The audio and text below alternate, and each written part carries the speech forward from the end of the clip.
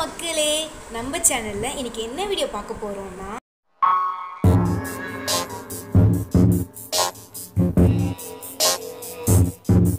இந்த banana milk shake செய்யறதுக்கு தேவையான பொருட்கள் என்னென்னு பார்த்தீங்கன்னா ஃபர்ஸ்ட்டு ஒரு பனானா பனானா வந்து நல்லா ஸ்வீட்டான பனானாவாக எடுத்துக்கோங்க.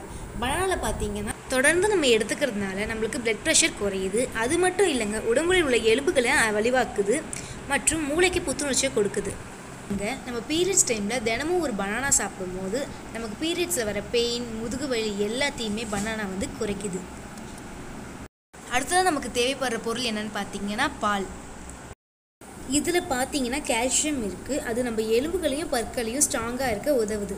அடுத்தது இதில் பார்த்தீங்கன்னா இதில் vitamin D and vitamin B six இருக்குது இது நம்ம உடம்பை புத்துணர்ச்சியாக வச்சுக்க உதவுது. அது மட்டும் இல்லைங்க இது நம்ம உடம்புல இருக்க கெட்ட கொழுப்புகளை குறைக்கிறதுக்கு உதவுது. அடுத்தது என்னன்னு பார்த்தீங்கன்னா தேவையான அளவுக்கு நட்ஸ் சரி வாங்க இப்போ பனானா மில்க் ஷேக் செய்ய ஸ்டார்ட் பண்ணலாம். இதில் க்ளீனான மிக்ஸி ஜார் ஒன்று எடுத்துக்கோங்க. இந்த பனானா பார்த்தீங்கன்னா வந்து குட்டியாக இருக்கிறதுனால ஒருத்தருக்கு ரெண்டு பனானான்னு எடுத்திருக்கேன். இதுவே நீங்கள் நார்மல் சைஸ் பனானாவாக இருந்தால் ஒரு பனானா ஒருத்தருக்கு நீங்கள் எடுத்துக்கலாம். பனானாவை இப்போ நான் கட் பண்ணி அதில் போட்டாச்சு. அடுத்தது வந்து பார்த்திங்கன்னா தேவையான அளவுக்கு சர்க்கரை. ஒருவேளை உங்களுக்கு சர்க்கரை போட பிடிக்காது அப்படின்றவங்க வந்து தேன் சேர்த்துக்கலாம். குழந்தைங்க கொடுக்கும்போது பனவெல்லம் சேர்த்துக்கிறது நல்லது. இந்த ஸ்வீட் ரொம்ப பிடிக்குன்ற காரணத்தினால நான் மூணு ஸ்பூன் சர்க்கரை இதில் போட்டிருக்கேன். இதுக்கப்புறம் நம்ம என்ன எடுக்க போகிறோம்னு பார்த்தீங்கன்னா பால்.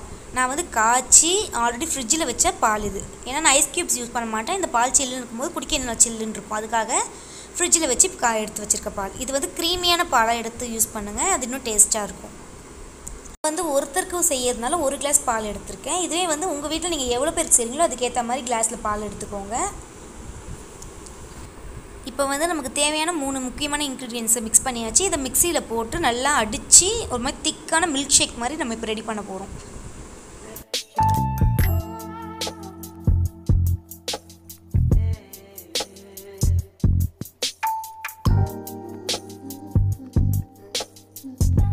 மிக்சியில் போட்டு நல்லா அரைச்சி எடுத்தாச்சு. பாருங்கள் எவ்வளோ திக்காக எவ்வளோ க்ரீமியாக இருக்குது நம்மளோட மில்க் ஷேக் இப்போ இந்த மில்க் ஷேக்கை வந்து நம்ம டம்ளரில் ஊற்றி எடுத்துக்கிறேன்.